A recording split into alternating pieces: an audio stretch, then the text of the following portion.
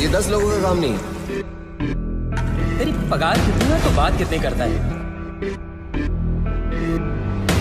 सत श्रीकाल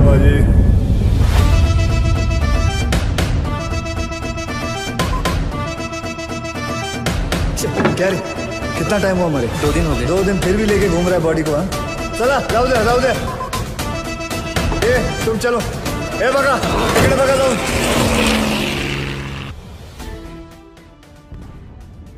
क्या रैली में होगा अटैक? क्या एक बड़े खतरे का होगा खुलासा? क्या सूर्या रोक पाएगा टेररिस्ट अटैक को? हेलो दोस्तों, मैं नितिन। आपका स्वागत करता हूँ बॉलीग्राड स्टूडियोज में। डायरेक्टर रोहित शेट्टी की सूर्यवंशी के बाद हम आपके साथ सूर्यवंशी टू के बारे में बात करने आए हैं। और आपको याद होगा कि हम आपके लिए सूर्यवंशी टू की कहानी भी लेकर आए थे। जैसा कि हम बात कर रहे थे कि मॉल के हाईजैक होने के बाद टेररिस्ट स्मगलर इब्राहिम और उनके हथियारों की मांग करते हैं। और सूर्या जैसे ही बच्चे को सेफली अंदर भेजता है। वैसे ही बंदूक की फायरिंग शुरू हो जाती है। सूर्यवंशी के प्लान बी के हिसाब से ट्रक में सिर्फ़ बंदूकें नहीं, बल्कि उन बंदूकों को चलाने के लिए ऑफिसर्स भी मौजूद थे। और जैसे ही आतंकवादी ने दरवाज़ा खोला ऑफिसर्स ने उन पर हमला कर दिया। बाकी के दोनों मॉल्स और सिचुएशन भी ऑफिसर्स ने संभाल ली थी। लेकिन सूर्या जानता है की खतरा अभी टला नहीं है। इतने सारे हथियारों का एक साथ ट्रैफिकिंग करना और फिर उनका ट्रेड में भी इस्तेमाल न होने का मतलब है की कुछ बड़ी प्लानिंग चल रही है। इब्राहिम उनमें से एक ज़िंदा रह जाता है और एक बार फिर इन्वेस्टिगेशन रूम में आता है। हालाँकि वो सिर्फ़ ये बताता है कि जल्द ही एक बहुत बड़ा धमाका होगा और उसे रोकने के लिए पुलिस कुछ नहीं कर पाएगी। बहुत सारे मासूम लोगों की जान जाएगी तुम्हारी आँखों के सामने और तुम कुछ नहीं कर पाओगे। इतना कहकर वो खुद अपनी जान ले लेता है। सूर्या और उसकी टीम इन्वेस्टिगेशन में लग जाती है और देखती है की कहीं कोई बड़ा इवेंट होने वाला है या फिर बहुत ही ज़्यादा भीड़ वाला फेस्टिवल आ रहा हो, जिसमें अटैक करने के लिए वो इतने सारे हथियारों का इस्तेमाल करे और तब उन्हें याद आता है की बाल दिवस पर मंत्री जी रैली निकालने वाले हैं, जिसमें बच्चे से लेकर बूढ़े लोग सब शामिल होने वाले हैं और बाल दिवस भी बस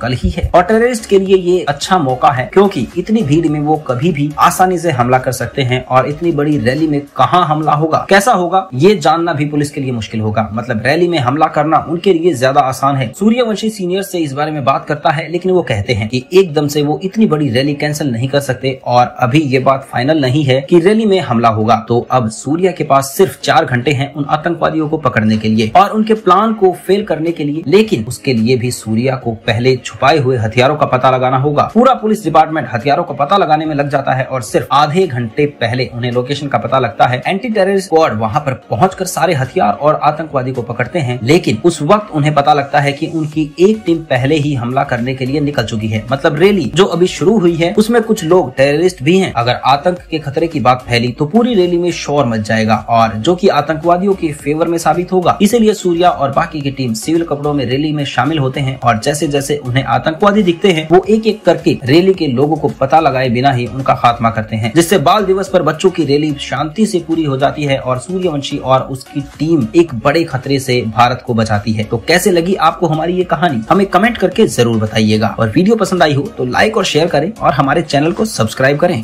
धन्यवाद।